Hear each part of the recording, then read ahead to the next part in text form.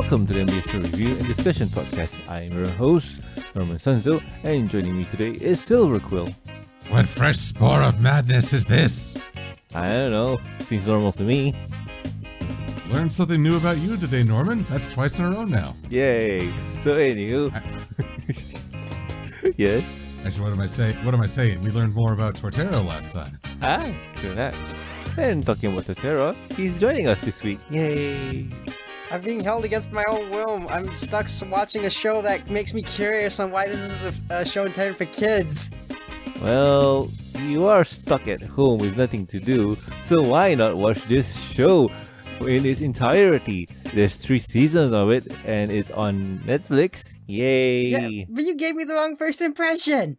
Oh, push pa, push, push that aside. You should see the Christmas special. oh, Jesus. I don't even want to Yes. know. I'm not going to ask. Actually, it wasn't a, a flawed first impression, Torterra. This is pretty much part of the course of the show. It's like, what are you doing? What? What? What? What? What? What? What? Ah, but anywho, in today's episode, we are going to review the America's Ladybug. And how how do you say it, Silver? Like I just call it the America's Ladybug. I thought it was miraculous: the adventures of Ladybug and Cat Noir. I- I think that's in different country then. Yeah, anyhow, uh, America's Ladybug Tales of whatever it is, uh, season three, episode seventeen. So yay! In this episode, Ladybug and Cat Noir each get the other's miraculous when they must take on uh Ju- hmm person's name who Reflekdoll. yes, uh, who has become Refractdoll again, and now has a sentimonster. Okay, that's a lot to take in. And this may not be the best episode to review because new things are introduced, but don't care, much fun. So first impressions are in order. Silver, what do you think?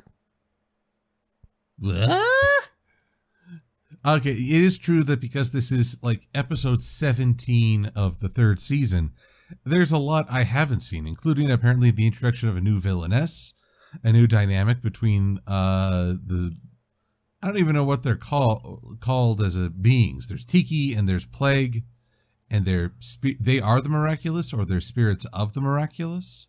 I think they are spirits of the miraculous. They give what the powers to the thing that they inhibit. Like uh, the ladybug miraculous is in an earring, while the cat noir miraculous is in a ring, and so on.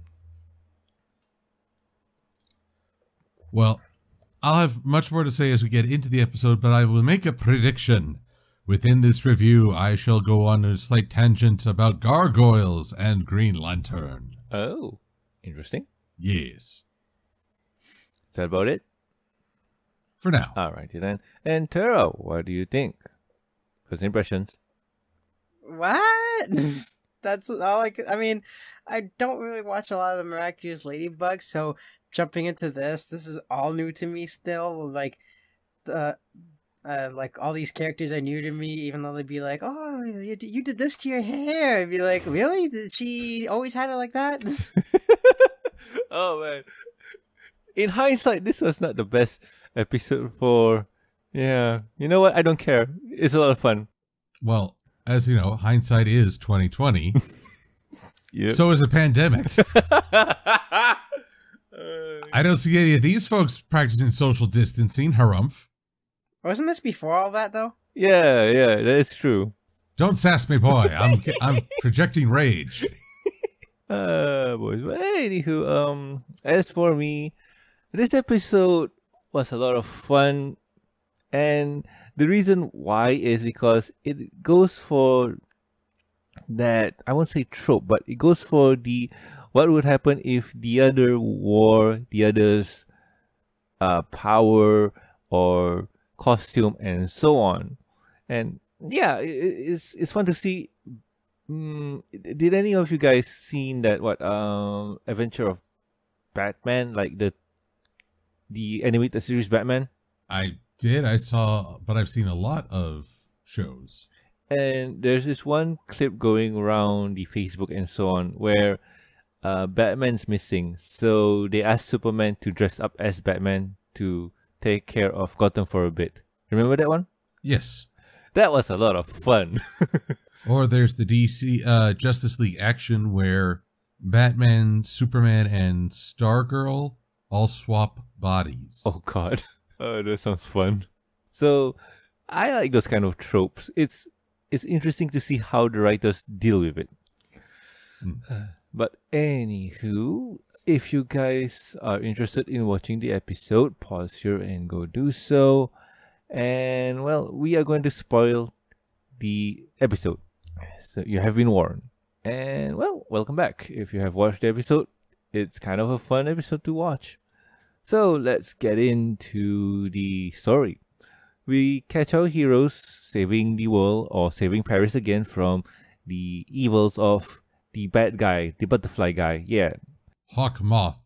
Yeah. Beware the dreaded Hawk Moth. he will eat all your jackets. Ah, Uh, yes. That's his name. yes, hawk moth. Hawk Moth. Tara is not impressed. Hawk Moth, bringer of your doom.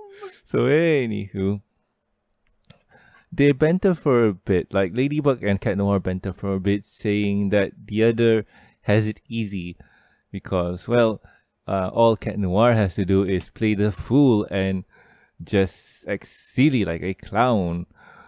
And Cat Noir says, "Oh, Ladybug, you have it easy and stuff." And how do I put this? You're all too uptight and too serious, blah blah blah. So after their banter, they leave for a bit, and we here are introduced to Jellica, Ju- Juleka. How do you even say that name? The goth girl, yay! So she's interested in being a model for Marinette, one of her friends, because well, she's interested. Her brother Luka just says, "Go ahead, go try it out. You you know you want to." So she does, and well, they meet up at school. School's out early, and they go to Marinette's house to, well, model out her fashion and whatnot. And in doing so, they rope in the love interest for the show, Adrien, asking him to help out because he has a lot of experience in modeling because he is a model. Yay. So he agrees, and well, we have an episode. uh, Juleka is not confident in her talent or ability to model for Marinette. And uh, yes, now I remember her name. Alya. Alya is trying to hook Marinette and Adrien up. And well, let's just say that in doing so, it hurts Juleka's feeling of being a model. It's not good. I'm gonna pause here. So, Silver, what do you think of the setup and whatnot? Well, it seems a bit more normal. There's kids, they're worried about their relationships. They're a little unsure of what they want to do or who they want to be. It's a bit more identifiable than it's been in, the past. I noticed that Chloe does not make an appearance in this episode, and therefore there's no artificial nastiness, just characters trying to, to do their best and not knowing what that is.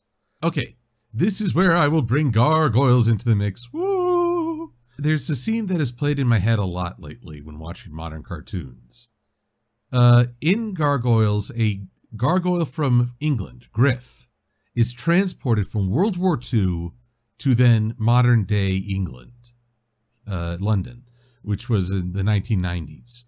First thing he sees is a guy in punk drab walking by playing a Game Boy and goes right past two gargoyles because he's completely fixated by the screen. Griff is then so overcome he nearly faints into oncoming traffic. And I feel that way when I hear about the characters trying to set up their own website. and I realize that that is the new norm. Kids and social media it is it is now infused in our entertainment. I feel the same way watching Equestria Girls.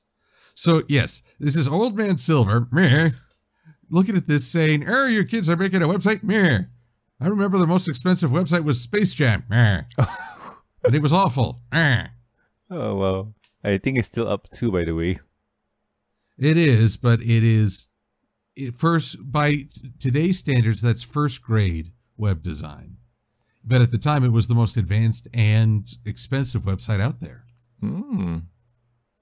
That's interesting. Yeah, stuff. So he, the fact that these kids, social media and, and the internet in general, are now so infused in our culture that they're not just distractions or or uh, one note events for entertainment. They are the norm. They are the steady undercurrent. Because all this is Marinette trying to launch her own website with fashion photos, and I just find that kind of weird. Really now? You, you don't find that norm? No, because I did not have that growing up as a kid. Therefore, I am marveling at how it has infused itself into young people's entertainment. Huh. Alrighty then. Um, shifting into Terra. What do you think?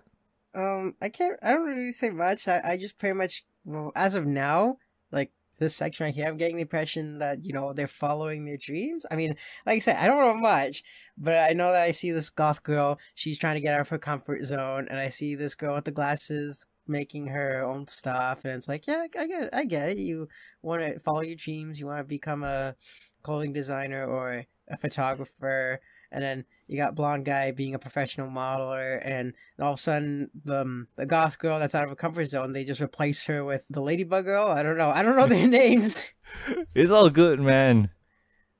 but that's that's all I got so far. Like like I said, I don't know much about the miraculous ladybug.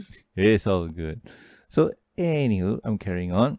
Alya uh, ropes in Marinette and Adrien for the shoot because, like I mentioned before, she really, really wants to hook those two up. She wants to ship them, ship them hard.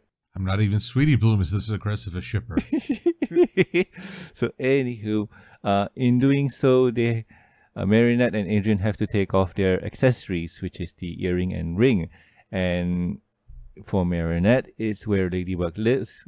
the, um, her um, Kwami Tikki lives. And for Plagg, it's in the ring and so on. So taking them off, they both say that this is a terrible idea, and they both say that hey, you'll be we'll be close. So if anything happens, uh, I'll get you out, no problem. So once they reveal themselves, they look great. But Alya noticed that hey, uh, Marinette is making a fool of herself. So why don't we go out and have some fresh air? That will change the uh, situation and stuff. And while this is happening, uh, is feeling depressed and feeling she has been cheated out of her destiny of being a model. And with that negative emotion, uh, Hawkmoth appears and Hawkmoth, the greatest villain of them all, but not really. yeah, uh, he appears and uh, Akuma ties Jellica. And also, there's this new girl named Natalie, was it? I think so. So, anywho, uh, yeah, I, yeah. this character for me is out of nowhere. Who? who? And technically, What? she's the assistant for the Agreste family. Huh. She's close to, uh, what's his name? Talkmouth, yes. So he knows his secret and whatnot, and he wants to help. So she becomes the Peacock Miraculous and creates what they call a sentimonster. Yay. So I'm gonna fast forward for a bit. Uh, Hawkmoth imbues Jellica with powers and also a big giant mecha. And all he wants is the Miraculous from Ladybug and Cat Noir. And she agrees and she wreaks havoc. And her way of wreaking havoc is changing everyone to look like her in a big giant mecha. Wasted. Wasted potential. So while that's going on, we get to see Adrien and Marinette model in front of the Eiffel Tower, just posing and stuff. While they check out the picture, uh, Reflekdoll is uh, what was her name? Uh, Reflekta, something like that. I'm just gonna call her Jerica because it's easier to remember. So she comes in and zaps everyone, everyone in the area, including our heroes, Ernest and Adrien. So now they look the same and well, chaos happens. I'm gonna pause here. So, Tara, what do you think? Can't really say much. Like, uh, we see that um, the goth girl's ups- upset because you know she didn't get what she wanted. But I mean, it's not really okay. It is kind of your fault that you didn't stay say anything or that you didn't stick up for yourself. You're very quiet. I don't know if she's new or if she's a recurring character or not. Um, but then you see, you see this other girl, the the bad one, just comes out of nowhere. It's like, oh, okay, a new villain, even though I just got here. But okay, welcome aboard. the, but the thing that makes me curious about her is her, uh, I guess you could say her peacock petted or whatever. Mm-hmm. It was sparking. I don't know if um, it's gonna be one of those plots where it's like, yeah, I used to be a good person, but I'm being mind controlled right now, so that's why it's being on the fritz. Hmm. And uh, actually, I got another question. Why does the um, uh, the blonde guy's driver almost look like a monkey? That is a good question. He's Yes. a gorilla. Er. Because I see that, I'm like, is that a monkey? Yes. Yes. yeah, that's all I really got. Alrighty then. And Silver, what about you? How to put this? Again, part of me is appreciating the shift in cartoons and presentation. And some of it, I'm not sure if because this is a French cartoon, some of the gestures and cultural norms are different. Case in point, when uh An- Angela, what, the the goth girl, Uh, Je- Jellica, I think. Jelica, Jellica, yeah. When Jellica is talking to her blue-haired brother, Mm-hmm. who's apparently a musician, he gives her a peck on the cheek. And as, at first, I was like, "Oh, is is that her boyfriend?" Ah. No. Okay, brother. Good to know. Uh, so that's not something I'm I'm usually aware of. And then Rose, uh, I thought Rose might be Jellica's girlfriend because she gives her a kiss on the cheek when they say goodbye. To just you know, FYI, she is. okay. Well, she says that, but then when Reflekdoll is there, she's declaring we can be BFFs forever. It's like, wait, best friends forever? I thought you were dating. And so again, I wonder, is this is this the way they can code in a lesbian couple, or is this uh French and you know, we had that episode where kissing was apparently the French norm. oh. So, so there's that question, but then there's also the the fact that Marinette designs clothing that is unisex, and I don't know if that really works. Again, this is me coming from a different generation, but if Adrien walked down the street with a beret and earrings and all that, I think he'd be mocked by a lot of people, at least growing up. So it's it's a different time. Is what I'm saying. I don't know. I notice a cultural shift, and often entertainment is both the the indicator and educator of those shifts. Oh, that's true. That's true. Uh, being well, for me, being quote unquote, sorry, not quote unquote, being for me being Asian, living in Southeast Asia, everything for me is culturally different.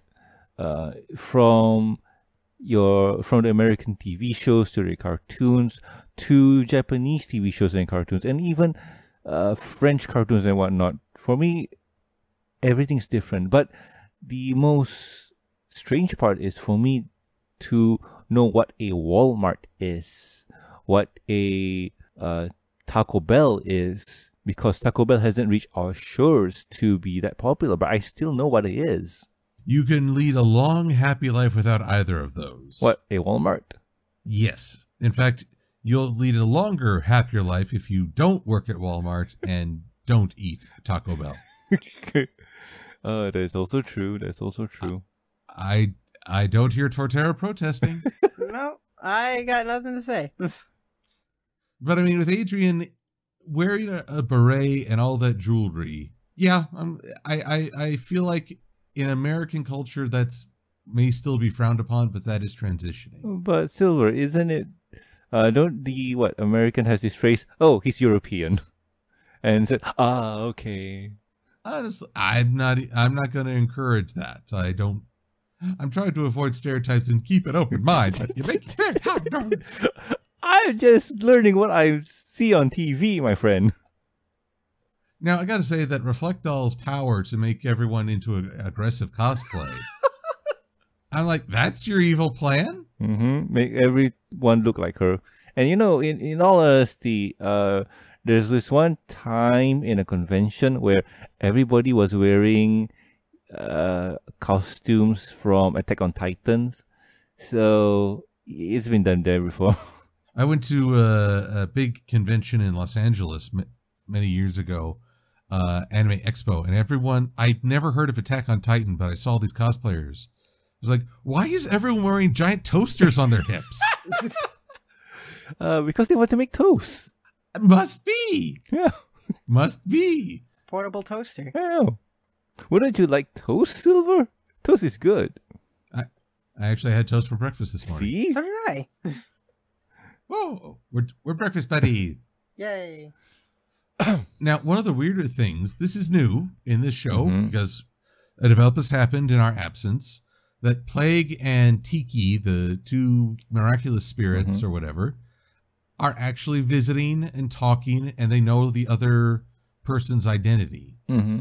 And then Plagg commits the most unforgivable crime. Inexcusable. Oh, was it? He calls Tikki Sugar Cube. That is blatant violation of Applejack's catchphrase, and I will not stand for it. Oh, come on. It's not that bad. So, anyhow, uh, it is that bad, Norman. but anywho, I'm gonna carry on. I'm gonna carry on. So, eh, Oh, I, oh, I can carry on, all right. I'll, I'll, last week I carried on about a whale in a lake. This time I'll talk about Plagg stealing my, one of my favorite characters' catchphrases. I can go bitter and carry on like no one's business. uh, soon enough, soon Wee enough. but anywho, um, as this is happening, uh, the car that they came in uh, gets flipped over by Reflekdoll's mecha. So it hits and it scatters all of the content of the car out. So all of their belongings are scattered on the floor. Tikki and Plagg needs to find their um, miraculous and give it to their owners. The problem is their owner looks like Jellica. They fly around and notice the owners. Marinette notice Plagg and says, "Oh, Cat Noir's not here. Anyway, just give it to me and I'll transform into what did she call herself? Cat Noir, Lady Noir. Lady Noir. Yes. So she transforms herself into Lady Noir, which is kind of a cool design. And so does Adrien, who transforms himself into not Ladybug, but Boybug, was it? I mostly know him as Bug Boy. Yeah, I think he called himself Bug Boy. So yay, he transforms, or they transform, and they try to defeat the mecha. And they realize that each other's power is not as easy as it looks. They keep commenting on um, their skills and whatnot, and let's just say that they have a hard time. So as they try to understand each other's powers, uh, the big giant mecha is destroying Paris. Oh no. As they go on, they manage to get into the mecha and get Jellica out. And they get her, or they turn her back to normal. And all that is for naught because the big giant robot is on a rampage. And they need to figure out how to stop the big giant robot. Adrian pulls out the what you call this lucky charm, and he got no idea what to do. In trying to figure something out, they notice that the big giant robot has a screw. Ah, this is confusing, but anywho, they discover where the feather is and destroy it and turn everything back to normal. I'm gonna pause here. Silver, what do you think? The design and whatnot.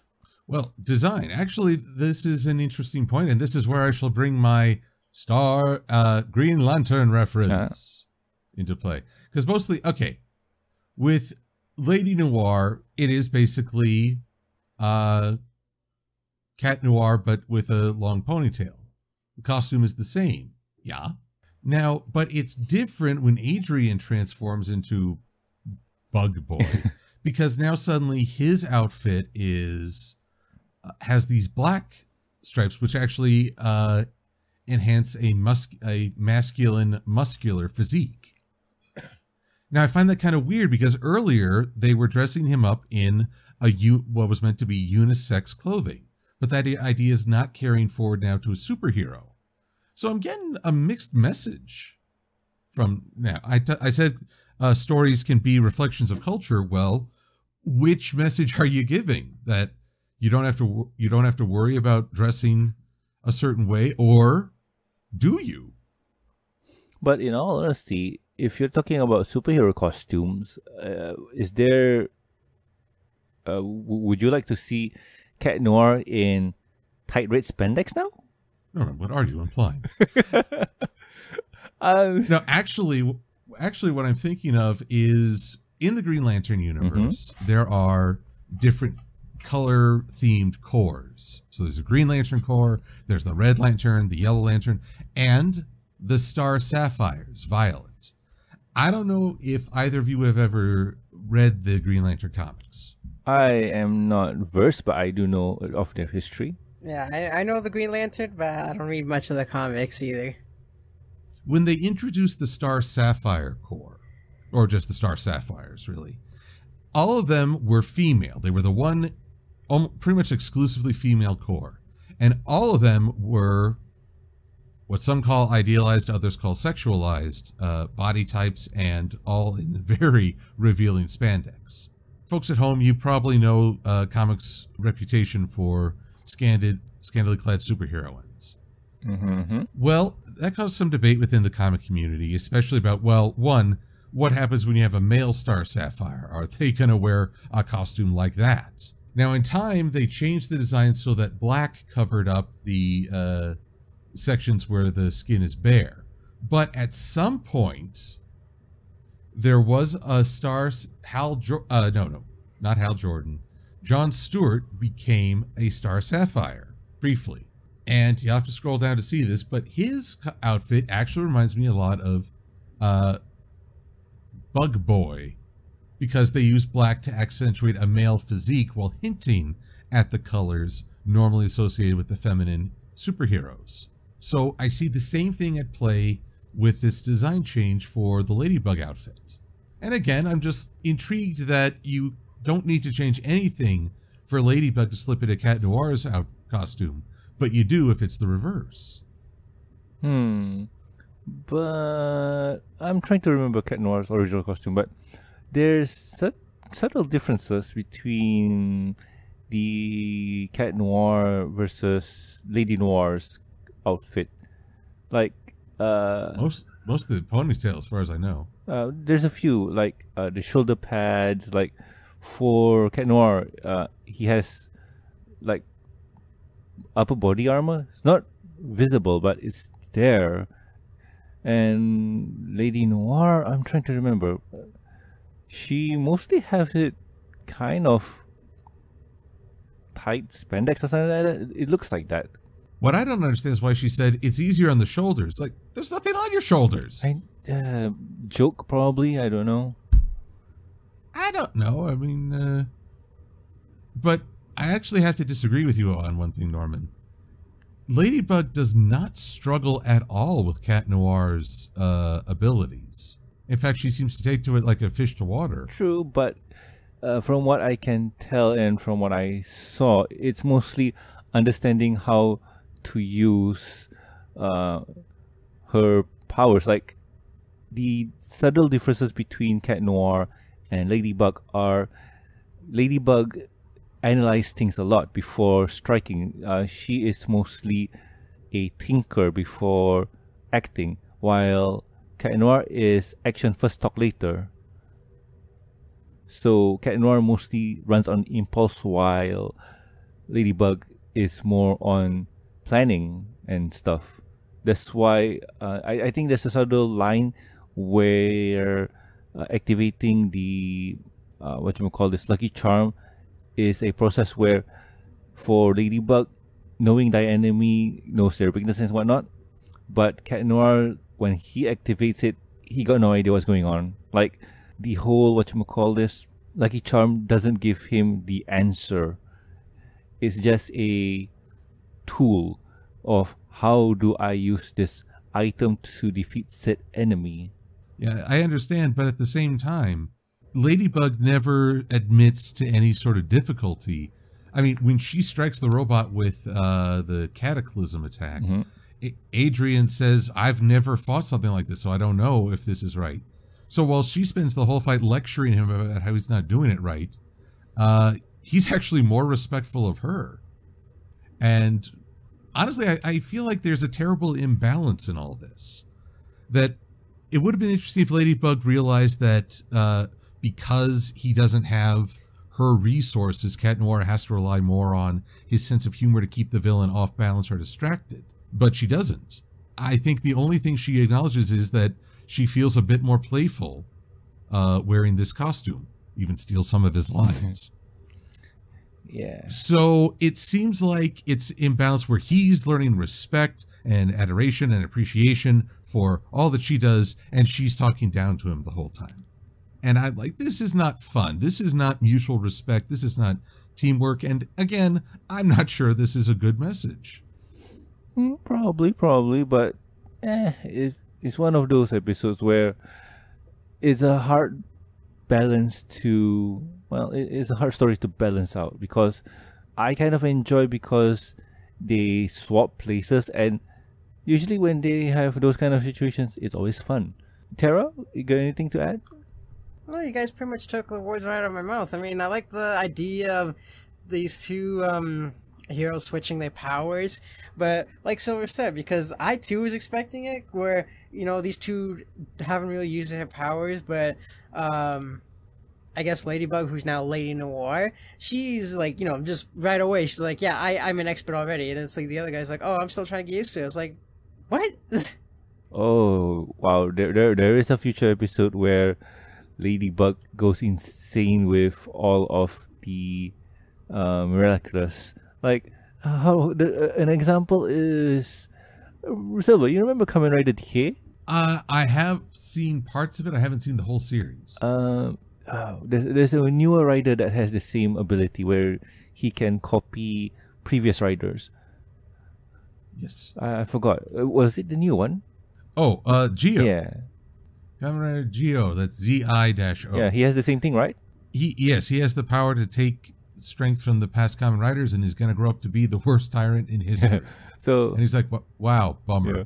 But anywho, um, in the future, Marinette has the same thing where she uses multiple uh miraculous, like how Zi-O does it. well that's just scary Yeah, But that's a story for a different day. Anyway, I'm gonna carry on and wrap this up. So with the day safe, um, uh, Bug Boy just turns everything or fixes everything back to normal. The bad guy laments their failure and says that no problem, we can always try next time. Bug Boy and Lady Noir uh, run on the rooftop to go to their separate places and transform while saying that yeah your your thing is not as easy as it looks and yeah mutual respect quote unquote and yeah we, we, we separate for a bit see you later and they transform back and they promise the Kwami never to remove their miraculous ever again and with that they meet up with their friends do a photo shoot and uh, Marinette apologizes to Juleka because she didn't really know how much this really meant to her. And in the end, they change outfits and continue on with the photo shoot. With that, episode ends. Yay! Yeah. So, anywho, uh, um, Silver, final thoughts. this was certainly less strange than many of the previous episodes we've seen i still have many questions about where these other characters are coming from uh what is all this why suddenly is hawkmoth have his own miraculous spirit is that part and parcel what the hell up with, what is up with uh peacock lady's uh spirit that's just yay murder death kill rip and tear Rip and tear. Indeed. From what I can understand of the Peacock Miraculous, the Peacock Miraculous is uh, sick or broken and needs to be fixed. but when I look at contrasting what's going on in their civilian lives versus the presentation superhero, there's this weird clash of ideas or messages. And I'm not sure what, if anything, they're trying to say. But if you're doing something with, if you're putting all this stuff out there without knowing what you're trying to say, I think that's bad writing. So I get, I feel like there's this veil of culturalism, maybe a generational gap that I'm having trouble seeing through. But at the same time, I'm also like you. You're trying to have it both ways, and I'm not sure you're succeeding. In fact, I think you're falling short. Hmm. I guess so. I, I haven't really thought about looking at the episode that way. From in all honesty, my point of view is, oh wow, they changed outfits, yay! I don't know. The changing the changing costumes is a fun spectacle. I think because I'm old and jaded, me, I find that I get past the spectacle rather fast. uh, I see what you mean. I see what you mean. Um, but anyway, uh, Tara, final thoughts. This this still confuses me. Really? Well, I do like the. I wouldn't say the story much. I do like the near the ending though how they change powers. I, I, feel, I don't know if I've seen something like that before, but I do like the concept where it's like, oh yeah, I've never used, y- I never done this before. I never used these kinds of powers. So they're basically, you know, getting out of their comfort zone and trying new things. Basically, what I said earlier with the girl, you know, being a creator and stuff like that. They they're trying new things, but it just bugs me how they get used to it like right away. And it's like, oh yeah, I I already know how to do this now. It's like, you know, like at least give him some time to practice. Like even though it's an intense scene, at least give him some time. You can't just make them learn it right away. Hmm. True, but uh, one of the few things that are there by muscle memory is that uh, both of them know how to quote unquote fight and jump around. So that's second nature to them. But using the tools what they have, that's something else. But anywho, as for me, this episode was a lot of fun to watch and catch. I do enjoy uh, the switch for Miraculous with uh, Ladybug and Cat Noir. It's interesting to see the other designs. So uh, it's uh, it's not ingrained in their costume because if we were to see the Ladybug Miraculous on Adrien, it would be really, really, really strange to see a onesie latex outfit on a dude. Yeah, nah, nah, that would be all kind of wrong. Ain't that right, Silver? You know, no, I'm not gonna judge. I would normally I'm like, you sick, you sick, but it's usually when they're like having a leather-clad boy press himself against a window, or or strapping strapping a blindfold on him, binding him to a kite, and shoving your yo-yo in his mouth. It's like, what are you doing? Yeah, that still What doing? bothers. Oh, that what? still gives me nightmares. A onesie, a onesie is not anywhere near as disturbing. Okay. Because otherwise, this is just crazy. And you're sick. You're sick. Oh, boys. yeah. but um, I, I do like how they try to do the lesson of uh, getting out of your comfort zone, but only to fail and get pulled into the dark side. Hmm. Like you mentioned before, Silver, if everyone has a bad day in Paris, Paris will perish. If everyone has a bad day, well, yep. But thankfully, it's always bright, sunny, and remarkably clean in this version of Paris. Eh, true that, true that. Well, Although these days, I, doubt I doubt Ladybug and Cat Noir could do anything against COVID 19. Even Hawkmoth is like, oh, there's no one for me to akumatize because they're all staying indoors. still, I'm so bored. you know, still, but he still could because, like, what Juleka, she was indoors. Remember? She was indoors, but then there's no one to terrorize outside. It's just boring. Uh, but yeah, I, I do like your views on the episode, Silver. It does ask a lot of questions about um, Ladybug and Cat Noir. Like, are they equal? Are they not? And whatnot? And the way that she treats Cat Noir or Bug Boy, it's it doesn't seem fair. Doesn't seem what I'm gonna call this equal. So yeah, food for thought. Food for thought. But anywho, um, that's my views. Silver, what are you going to do next week? Well, I think uh you know, Ladybug is all about this will they, won't they, with her and Adrien and all Mhm. that, which they will. Uh so no mystery there. But we can have a different relationship as we go back to My Little Pony 4, the Big Mac question. Mm. That will be a As fun we- one. The the last slice of life, quote quote, for the show before we hit the final the final episodes. Yeah, and this episode here is a fun one because Discord is involved. So anything with Discord is a lot of fun, ain't it right? Not for Ponyville's residents. But anywho, that will be next week's review. So, if you guys have any questions, concerns, or suggestions for the show, you can contact us at thembsgmail.com.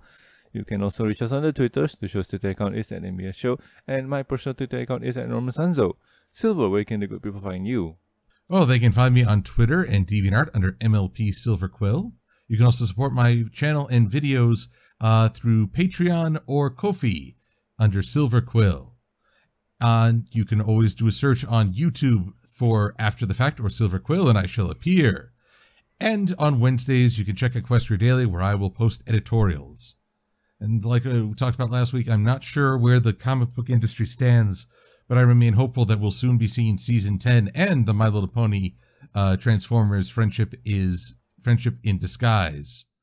We'll see that. Yeah. I can't wait for that one. That one's going to be a lot of fun. Uh, I do like how they're pairing uh, Autobot and ponies, like what Rainbow Dash is with Windblade, and those two. Not, I'm not sure about Windblade, but Applejack, sorry, Rainbow Dash is all about speed, and Windblade will have a fun time catching up with her. Well, actually, Windblade might get frustrated. She's often more responsible. Ah, ah, yes. So it's very different personalities in my Hmm, eyes. that is interesting. That is very interesting.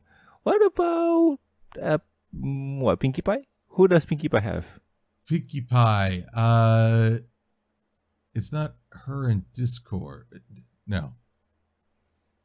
Pinkie Pie, is she up against, yeah, she's up against Soundwave. Up against or with? Because which version of Soundwave is this? The good Soundwave. he's st- he, he's still a Decepticon, the bad. oh, Soundwave. It's bad. It's bad. oh, okay. Because I'm very confused with what Soundwave is, and uh, yeah, so much confusion. Like I remember what Megatron being a good guy. What?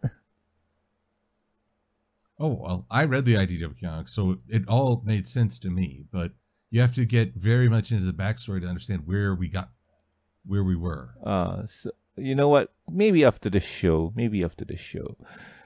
So, uh, Tara, what about you? Where can the good people find you?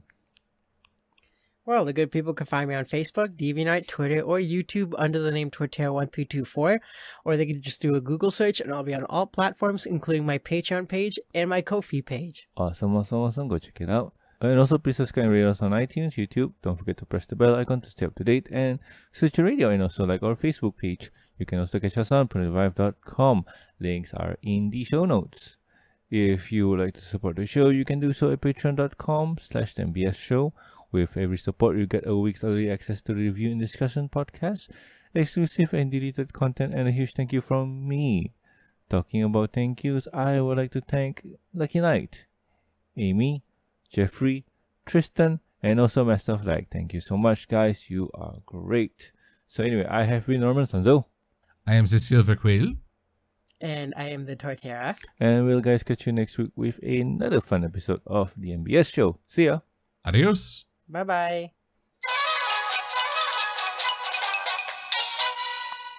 So, got any more ideas of which character ch- change powers for a bit and have fun? Like, uh, I I got one. Which is Captain Ginyu. Oh Captain my Ginyu. God. Actually, along that same idea, Raven and Starfire from Teen Titans. Oh yeah. Oh yeah, I almost forgot about that. That one was a good one. Also, a correction: in when we ever do get to see uh, My Little Pony Transformers, it's Pinkie Pie v- uh, versus uh, Shockwave. Shockwave. Oh, Ooh. that's gonna be fun. So, the ultimate in Cybertronian logic versus the ultimate in Pony non-logic. Is Discord there? Like I don't remember. it's he and Fluttershy against Soundwave. Oh, evil. Yeah, oh, man. Pony, you gotta explain this to me, man. You gotta explain the timeline. For Transformers, Yeah, like what are they doing? There, there'll be something else. you know what? That'd make a good podcast. The history of IDW Transformers. Yeah. Yep. You know what? That'll be a future thing. Yeah, that'll be a future. Okay, Anyway, bye bye. there we go. Bye bye. Bye.